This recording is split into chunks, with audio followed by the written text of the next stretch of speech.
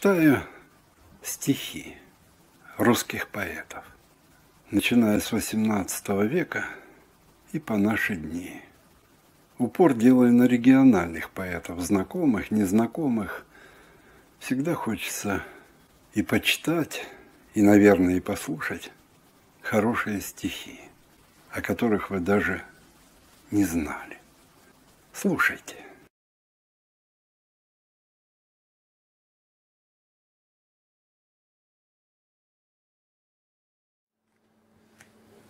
Шевченко Леонид Витальевич, Волгоград.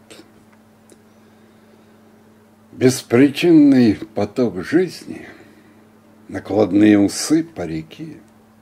Дорого стоили джинсы и кожаные пиджаки. Что с тобою случится завтра? И какое взойдет божество? Прилетали с небес – космонавты, и в торговле цвело воровство. Гум, Ваганькова, Преисподняя, парфюмерный секретный завод – ничего не случится сегодня, только завтра произойдет. И смятение шапки дорожной пассажира на самом краю ласково, можно сказать, осторожно – пробирается в душу твою. Как будто в первый раз. Спешившая на тот вокзал, ушедшая за круг. Кто за мгновенье постигал жестокий смысл разлук? Кто грел трамвайное кольцо, считая каждый час? И кто смотрел в ее лицо, как будто в первый раз.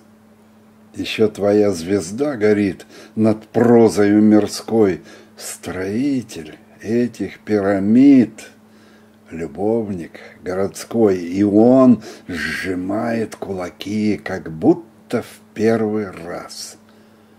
Солнцезащитные очки, кроссовки, Адидас. Ревнивая чужая муза. Мне от страсти бывало жарко за письменным столом. Мне казалось, ты муза Петрарки с некрасивым выпуклым лбом. Он увидел тебя в детстве, я увидел тебя теперь. Мы свидетели общих бедствий, летописцы одних потерь. И меня безумье страшило, и меня накрывала волна. Ты венок на него возложила, а со мною ты холодна. Все пройдет. Не пройдет и мига, станет пылью моя печаль, только насмерть открыта книга, а на жизнь и страницы жаль. Ты сама выбираешь краски и сжигаешь вчерашний мир. Ты серьезная муза развязки и какой-то сверхмощный Шекспир. Ты в земную вошла оболочку, он тебя, не Лауру, любил, чтобы самую лучшую строчку он бы женщине не посвятил.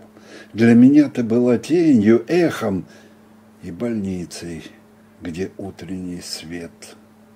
Ты со мной говорила со смехом, словно мне и семнадцати нет.